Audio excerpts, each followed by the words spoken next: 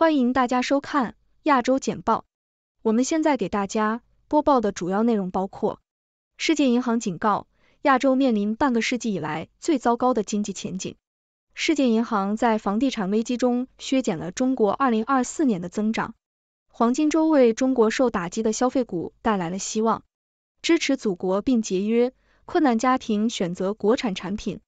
世界银行下调东亚增长预期，因中国经济出现问题。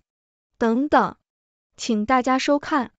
世界银行警告，亚洲面临半个世纪以来最糟糕的经济前景。金融时报，世界银行已将其对二零二四年中国增长的预测修正为百分之四点四，较四月份预测的百分之四点八有所下调。该银行还将其对东亚和太平洋地区发展中经济体国内生产总值增长的预测下调至百分之四点五。这些预测表明，该地区将迎来自上世纪六十年代末以来的最低增长速度。该银行指出，中国经济的弱势指标包括零售销售下降、房价停滞、家庭债务增加和私营部门投资滞后。他警告称，如果没有进行更深入的服务业改革，经济增长将持续放缓。世界银行在房地产危机中削减了中国二零二四年的增长。日经亚洲。世界银行下调了对中国和其他东亚和太平洋地区发展中经济体的增长预测，原因是该地区最大贸易伙伴可能引发的增长冲击。中国二零二四年的 GDP 增长预测从百分之四点八下调至百分之四点四，而整个地区的预测也从百分之四点八下调至百分之四点五。该银行警告称，中国增长率下降百分之一与地区扩张率下降零点三个百分点相关。报告还指出，中国的房地产危机通过双边贸易和金融流动影响了地区经济。黄金周为中国受打击的消费股带来了希望。南华早报预计，中国消费股将受到十月黄金周假期的推动，预计旅游和休闲活动将激增。中国大陆铁路管理局预测，本地游客在这个为期八天的假期中将进行一点九亿次旅行，比二零一九年增长百分之三十八。中国最大的在线旅行社携程集团的数据显示，出境旅行预订量较去年同期增长了近二十倍，国内旅行预订量增长了四倍以上。黄金周期间，旅游业的表现被视为中国消费活动的晴雨表，而今年消费活动有所下降。支持祖国并节约，困难家庭选择国产产品。南华早报，随着中国消费者越来越倾向于选择国内品牌作为廉价替代品。国内化妆品、服装和家电品牌的市场份额也在增加。自疫情爆发以来，消费者信心疲软一直是北京面临的挑战。二零二零年消费仅占 GDP 增长的百分之三十二点八，较二零一九年的百分之五十四点五有所下降。然而，由于当前的经济形势，中国消费者在非必需品上仍然谨慎消费，有百分之二十五的人表示更倾向于购买国内品牌。世界银行下调东亚增长预期，因中国经济出现问题。彭博社，世界银行预测，由于财政紧缩和全球环境疲软，东亚和太平洋地区的发展中经济体的经济增长将放缓。该报告估计，二零二三年和二零二四年的国内生产总值增长率将分别为百分之五和百分之四点五，低于先前的预测，分别为百分之五点一和百分之四点八。中国是这一增长放缓的重要因素，其增长预计将从先前的百分之四点八下降至百分之四点四。报告还指出，中国增长率的每降低百分之一，将导致该地区增长率下降百分之零点三。除中国外，该地区预计将在二零二四年实现稍快的增长，这得益于全球经济状况的改善和对制造品和大宗商品的外国需求增加。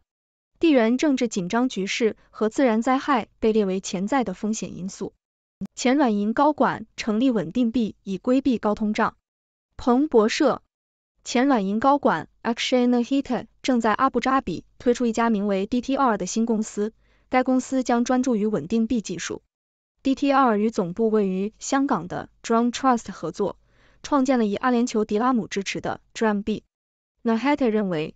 稳定币在通胀率高的国家将特别受欢迎，为 SWIFT 系统提供了一种替代方案。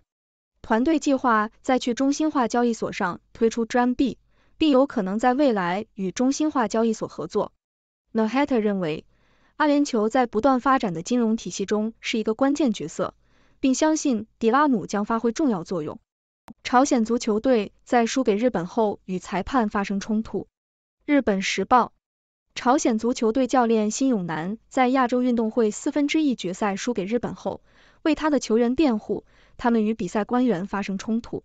比赛结束后，队长和一名队友对裁判进行了抗议，导致场上发生了对峙。教练跑到球员身边，试图缓解局势。东南亚的送货员在庞大的零工经济中收益微薄。南华早报批评者表示。东南亚的零工经济为数百万人提供了新的就业机会，但也引发了竞争下行的问题。他们认为，低工资、恶劣的工作条件和缺乏福利意味着零工工人正受到剥削，而每天派遣他们出去的应用背后的公司却变得富有起来。预计到二零二八年，越南的打车行业价值将达到二十六点一亿美元，而泰国的预计将达到四十六亿美元。然而，许多司机对他们所得到的回报感到不满，因为他们没有雇佣保护，必须承担在危险环境中工作的风险。他们的收入通常低于最低工资标准，并且没有获得雇主缴纳社会保障、年假或加班工资等福利。Deliveroo、Grab 和 Gojek 都提供事故保险，但越南的零工工人的全面数据并不存在。各位观众，大家好，我是您的六博士。来自六度世界，一如既往的为您带来最新的新闻资讯。今天的新闻焦点是关于亚洲经济前景的警告、中国消费活动的变化以及一些有关稳定币和体育的消息。首先，世界银行发出了对亚洲经济前景的警告，他们预测亚洲地区将面临半个世纪以来最糟糕的经济增长前景。世界银行指出。中国经济的弱势指标包括零售销售下降、房价停滞、家庭债务增加和私营部门投资滞后。他们还警告说，如果没有进行更深入的服务业改革，经济增长将持续放缓。这给亚洲地区的其他发展中经济体带来了影响。世界银行将对东亚和太平洋地区的发展中经济体的增长预测下调至百分之四点五。在中国，黄金周未受打击的消费股带来了希望。预计中国消费股将受到十月黄金周假期的推动，预计旅游和休闲活动将激增。这一情况被视为中国消费活动的晴雨表，并且今年的消费活动有所下降。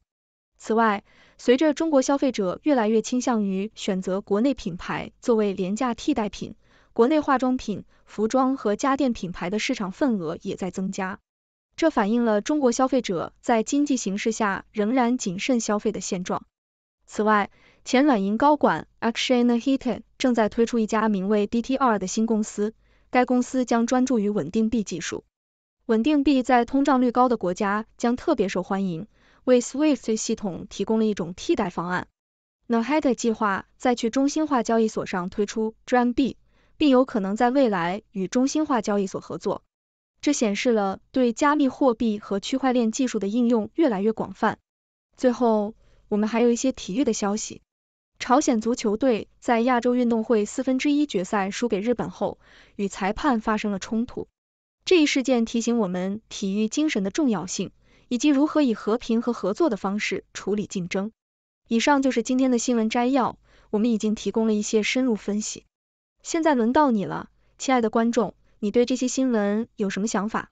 请随时提问和讨论，我们期待与你进一步的交流。谢谢收看。我是您的六博士，祝大家生活愉快，谢谢您的收看。上面播报的内容是六度团队推荐的全球专业媒体、智库、政府机构和行业专家的最新报道、分析简报。更详细的内容，请大家去这些媒体、智库的网站阅读。这些内容并不一定反映六度简报的立场，亦不能作为任何决策的建议。